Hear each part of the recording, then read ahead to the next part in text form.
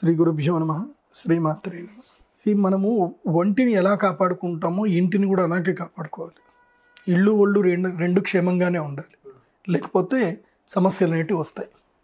ఒంటిని మనం ఎలా కాపాడుకుంటాం? ప్రతిరోజు చక్కగా స్నానం చేస్తాం. చక్కని ఆరోగ్యంగా అన్ భోజనం చేస్తాం. ఆరోగ్యకరమైన పదార్థాలు తింటాం. అనారోగ్యకరమైన పనులు చెయ్యము. ఇవన్నీ కూడా మనం ఒంటిని కాపాడుకునే పద్ధతులు. మరి ఇంటిని కాపాడుకోవాలంటే ఏం చేయాలి? అంటే ఇంటి లోపల ప్రధానంగా మనము కొన్ని చూడాలి. మెయిన్గా ఈ నెగిటివ్ అనేది ఇంట్లో ఉండకూడదు. నెగిటివ్ ఇంట్లో ఉండడానికి గల కారణం మనకేం చూపిస్తుంది అని అంటే ఇంట్లో రెగ్యులర్గా బూజు ఎక్కువగా పట్టి ఉండడం. ఇంట్లో బూజు పట్టింది ఉందనుకోండి అది అనారోగ్యానికి సూచన అది. బికాస్ ఎక్కడైతే కనుక డస్ట్ ఎక్కువగా ఉందో బూజు ఎక్కువగా ఉందో ఆ ఇంట్లో ఏం జరుగుతుంది అని అంటే మనకు తెలియకుండానే డస్ట్ అనేది ఇంట్లో పేరుకుపోతుంది. మన ముక్కు ద్వారా కూడా మనం అదే ఇంట్లో ఉండడం వల్ల ఆ డస్ట్ అంతా కూడా మన యొక్క లంగ్స్లో చేరిపోయి మనకు కూడా ఆరోగ్య నష్టం కలిగిస్తుంది. కాబట్టి ఇంట్లో డస్ట్ అనేది లేకుండా మనం చాలా జాగ్రత్త పడాలి డస్ట్ పడకుండా చూసుకోవాలి. దానికి తప్పకుండా మనము ఇంట్లో డస్ట్ ఎంత పడుతుందని తెలుసుకోవడానికి ఒక మూలకి ఏదైనా ప్రదేశంలో ఒక వైట్ పేపర్ పెట్టేసి ఉంచాలి అంతే. సో ప్రతి వారం అక్కడ చెక్ చేయాలి మన ఇంట్లో ఎంత డస్ట్ పడుతుందో వైట్ పేపర్ మీద తెలిసిపోతుంది మనం దాన్ని టచ్ చేయకుండా ఉంటే. సో డస్ట్ ఎంత పడుతుంది ఇంట్లో డస్ట్ ఎలా ఉంది అనేది మనకు తెలిసిపోతుంది అక్కడ.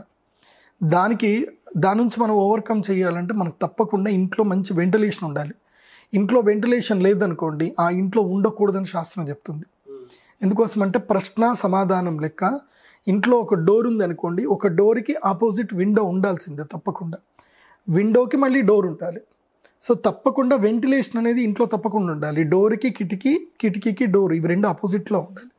ఉంటే ఏం జరుగుతుందంటే ఇంట్లోకి వెంటిలేషన్ ఎట్లాగైతే గాలి వస్తుందో వచ్చిన గాలి వచ్చినట్టు ఆ యొక్క డస్ట్ని తీసుకొని బయటికి వెళ్ళిపోతూ ఉంటుంది. ఇలా ఎయిర్ ఫ్లోటింగ్ అనేది ఇంట్లో తప్పకుండా ఉండాలి.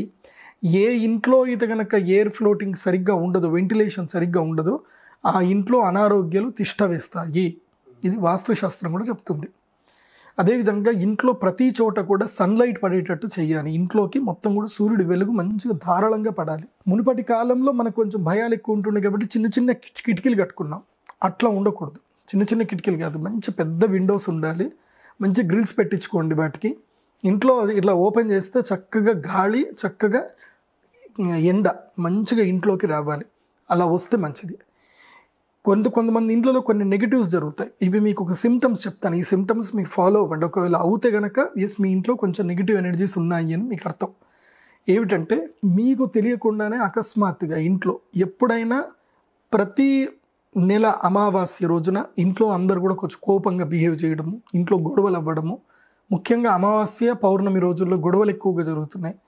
ఇంట్లో రక్తం బొట్టు ఎక్కడ ఏదైనా సరే ఎవరికొకరికి ఏదో చిన్న దెబ్బ దాకు ఏదో తగిలో రక్తం పడతా ఉంటుంది రెగ్యులర్గా ఇంట్లో రక్తం ఎప్పుడైతే ఆ ఇంట్లో రెగ్యులర్గా పడుతూ ఉంటుందో ఆ ఇంట్లో తప్పకుండా నెగిటివ్ ఉంది అని అర్థం.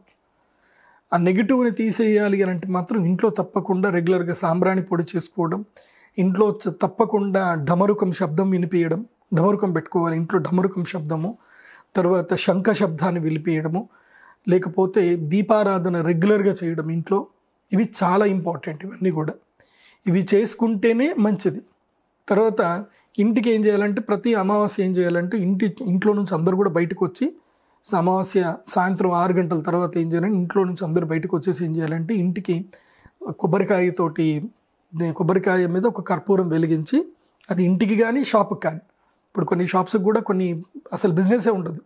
సో అమావాస్య రోజు ఏం చేయాలి అని అంటే కనుక కొబ్బరికాయ మీద కర్పూరం వెలిగించి చక్కగా రైట్ సైడ్ ఇలా హారతి తిప్పి మళ్ళీ లెఫ్ట్ సైడ్ కూడా హారతి తిప్పి ఇలా లెఫ్ట్ సైడ్ తిప్పుతూ తిప్పుతూ కొబ్బరికాయని పగలగొట్టేసేయాలి కర్పూరం కింద వేసేసి. ఆ తర్వాత ఏం చేయాలి? నిమ్మకాయ ఉంటుంది కదా నిమ్మకాయని కూడా ముందు కోసి కరెక్ట్గా మధ్యలో గడప దగ్గర కోసి అటుపక్కన ఇటుపక్కన పెట్టి దాంట్లో పసుపు కుంకుమ వేసి అక్కడ కూడా ఇంత కర్పూరం వెలిగించాలి నిమ్మకాయల మీద.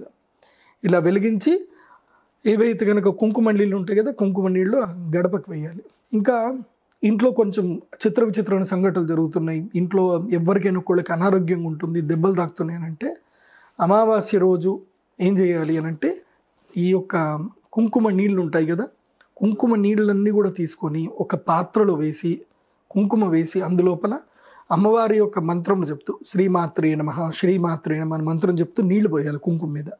కుంకుమ మీద నీళ్ళు పోసి కుంకుమ మొత్తం కూడా ఇది పారాణి లెక్క తయారవుతుంది. అంటే ఎర్రగా తయారవుతుంది నీళ్ళు ఆ ఎర్రటి నీళ్ళని ఏం చేయాలి అని అంటే ఇంటి చుట్టూ కూడా ఏం చేయాలంటే ఇలా ధారగా పోసుకుంటూ రావాలి ఇంటి చుట్టూ. మీరు ఏ మంత్రాలు అక్కర్లేదు. శ్రీమాత్రి నమః అమ్మవారి యొక్క మంత్రం. దానికి మించిన గొప్ప మంత్రం ప్రపంచంలో ఏది లేదు. శ్రీమాత్రే నమః అనే మంత్రంతో చక్కగా ఇంటి చుట్టూ ఈ యొక్క కుంకుమ నీళ్ళు పోయాలి. కుంకుమ నీళ్ళు ఇంటి చుట్టూ పోసుకోవడం వల్ల ఏం జరుగుతుందంటే ఇంట్లోకి ఏ నెగిటివ్స్ రావు. ఉన్నా సరే ఇంకా బయటికి వెళ్ళిపోతాయి ఇంకా. ఇది ఇందాక చెప్పిన అమావాస్య అంతా చేసిన తర్వాత చేయాలి. తర్వాత గుమ్మడికాయ కొట్టడం కూడా ఒక విధంగా మంచిదే. ఎందుకోసమంటే వంద బలులు ఏవైతే ఇస్తామో పశు బలులు ఏవైనా జంతు బలు వంద బలులు ఇస్తే ఎంత ఇదో ఒక్క గుమ్మడికాయని బలిస్తే అంతగా గొప్ప. కాబట్టి గుమ్మడికాయ బలి ఇవ్వాలి. ఇలా ఇచ్చి చక్కగా ఇంటిని ఎప్పుడు కూడా ఏదైతే కనుక రాళ్ళ ఉప్పు ఉంటుంది కదా రాళ్ళ ఉప్పు వేసి ఇంటిని క్లీన్ చేసుకోవాలి. వారంకి ఒక్కసారి అయినా సరే తప్పకుండా ఇంటిని క్లీన్ చేసేటప్పుడు రాళ్ళు ఉప్పు వేసుకొని ఇంట్లో గచ్చి మొత్తం క్లీన్ చేసుకోవాలి. ఇంటి యొక్క సభ్యులు ఎప్పుడైనా ఒకటి గుర్తుపెట్టుకోండి. నేను చాలా ఇళ్ళలోకి వెళ్తాను చూస్తూ ఉంటాను. పిల్లలు కానీ మగపిల్లలు మెయిన్గా ఏంటంటే ఇంట్లో అమ్మని అదొక శాలరీ తీసుకొని పని మనిషి లెక్క చూస్తారు మీ అమ్మని. అట్లా ఎప్పుడు మీరు చూడకండి. మీ అమ్మగారికి మీరు హెల్ప్ చేయండి. వంట ఇల్లు వరకు ఆమె బాధ్యత తీసుకుంటుంది. మీ కోపం మీకు మీ కడుపు నిండా అన్నం పెట్టడం మాత్రం ఆ బాధ్యత తీసుకుంటుంది. కానీ మీరేం చేయాలి అంటే ప్రతి ఆదివారం హాలిడే దొరికింది అని అంటే చీపురు పట్టుకోవాలి ఇల్లు మొత్తం క్లీన్ చేసుకోవాలి. మీరందరూ కలిసి పని చేసుకోవాలి. ఇల్లు మీది కదా అందరూ కలిసి పని చేసుకోవాలి. ఇలా కలిసి పని చేసుకోవడం వలన కూడా ఆనందం ఉంటుంది. ఇంట్లో బూజు ఉండకూడదు. ఏ ఇంట్లో అయినా బూజు ఉంటే ఆ ఇంటికి దరిద్రం పట్టినట్టే లెక్క. ఇంట్లో బూజు ఉండకూడదు. ఇంట్లో బూజు అందుకోసం ఎందుకు చూపిస్తా అంటే మనకి నేచర్ కరెక్ట్గా చూపిస్తుంది. మూడు సిమ్టమ్ చూపిస్తుంది నేచర్. పెస్ట్ తోటి చూపిస్తుంది. ఒకటి ఇంట్లో బొద్దింకలు ఎక్కువగా తిరిగాయనుకోండి ఆ ఇంట్లో వాళ్ళు ఆరోగ్యంగా లేరు అని అర్థం. బొద్దింకలు ఎక్కువ తిరిగితే. బొద్దింకలు ఉన్నాయంటే అది ఎట్టి పరిస్థితుల్లో రాత్రిపూటనే బొద్దింకలు ఎప్పుడు సౌండ్ లేనప్పుడే రాత్రిపూట బయటకు వచ్చి ఆహార పదార్థాల మీద అవి తీసుకొని తింటాయి. అది అనారోగ్యం. కాబట్టి ఇంట్లో బొద్దింకలు ఉండకూడదు. మీ ఇంట్లో బొద్దింకలు ఉంటే మీకు అరిష్టమే ఇది ఒక నెగిటివ్ కిందకే అర్థం. అండ్ ఇంటికి చదలు పట్టకూడదు. ఇంటికి చదలు పట్టింది అనుకోండి ఆ ఇంటిని వదిలేయాలంటారు. ఇంటికి చదలు పట్టకూడదు. కాబట్టి ఇంటికి చదలు పడుతుందంటే ఏదైనా ఉంది అని అంటే మీ ఇంట్లో ఏదో అరిష్టం ఉంది అని అర్థం. మూడోది ఏంటంటే ఇంట్లో సాలిడ్ పురుగులు తిరగకూడదు. ఇంట్లో సాలిడ్ పురుగులు ఉన్నాయి అని అంటే ఆ ఇంటికి ఆయుష్ అయిపోయిందని అర్థం. కాబట్టి ఆయుష్ అయిపోయింది అని అంటే ఇక మీరు ఆ ఇంట్లో సరిగ్గా ఉండరు అని అర్థం. ఇంటికి ఆయుష్ అయిపోయింది అని అంటే ఇంట్లో ఉండే వాళ్ళకి కూడా ఆయుష్ అయిపోతుందని అర్థం. కాబట్టి ఈ మూడు ఇంట్లో లేకుండా చూసుకోవాలి. అది కాకుండా ఇంట్లో ఎప్పుడైనా గుర్తుపెట్టుకోండి. మీరు ఒకటి ఈ యొక్క సిస్టమ్ మీ ఇంట్లో పెట్టుకోండి. మీరు భోజనం చేయగానే మీరు తిన్నటువంటి పళ్ళను తీసుకొని మీరు చేతి కడుక్కొని మీరే కడిగేసి మీ అమ్మకి అనుకూలంగా ఎక్కడ పెట్టాలో అక్కడ పెట్టేసేయండి మీ ఇంట్లో. మా ఇంట్లో నేనైతే నేను భోజనం చేయగానే నా పళ్ళని నేనే తీస్తాను తీసేసుకొని వెళ్ళి పళ్ళని కడిగి అక్కడ పక్కన పెట్టేస్తాను నేను. ఇప్పటికీ నేను మా ఇంట్లో అదే పద్ధతి నేను పాటిస్తాను. మీ ఇంట్లో ఆ పద్ధతి మీరు పాటిస్తారా? మీ అమ్మకి మీరు ఏం చేయాలంటే కొంచెం హెల్ప్ చేయాలి. సాయంత్రం వేళ అయింది అని అంటే ఆ మొబైల్ పట్టుకొని ఏవో వీడియోలు చూస్తూ కాదు.